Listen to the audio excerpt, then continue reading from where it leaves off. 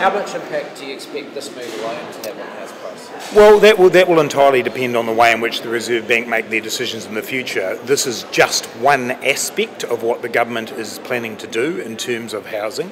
It is important to us, though, that we are very clear with the Reserve Bank what the government's objectives are. The Reserve Bank have worked with us in designing this. There are some limitations in terms of the Act, and that's correct and as it should be because they are independent in setting monetary policy, but they now have to not only take into account the government's objectives around housing, but be very clear and transparent in how they've done that. Can you give us a taste of some of those other up?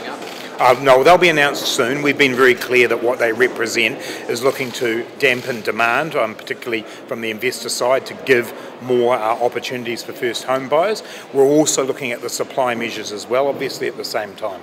We ask them to not only look at what is maximum sustainable employment, but also to look at the, at the stability of prices. Uh, maximum sustainable employment has deliberately not been defined by, uh, by the Reserve Bank. They have about five different indicators they take into account. For me, I want to see unemployment continue to trend down, um, and we've seen good progress in that. What big picture on housing? I mean, houses are a million dollars in, in Auckland, uh, median price, so um, and three quarters of a million across the country. Is that sustainable? No, it's not, and that's the very reason why we're taking the action that we are taking.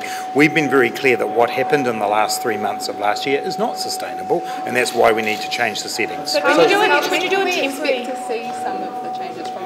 Reserve Bank's policy? Well, obviously, the next time the Reserve Bank get an opportunity is in, in April when they do their next monetary policy statement. Uh, the Monetary Policy Committee now have uh, a new remit to work to. Also, as they move through their uh, financial policy work, they um, will be taking this into account. So, for example, some of the other areas are when they consider things like loan to value ratios or whether they consider other tools um, in the, such as the debt to income ratios they are looking at. When will that actually impact the housing market? Well, that will obviously be once um, they make those decisions. But an awful lot of what happens, particularly with monetary policy, is around signalling, and so it does have an effect there. Again, though, I just want to stress this is just one initiative. Um, there are many more to come.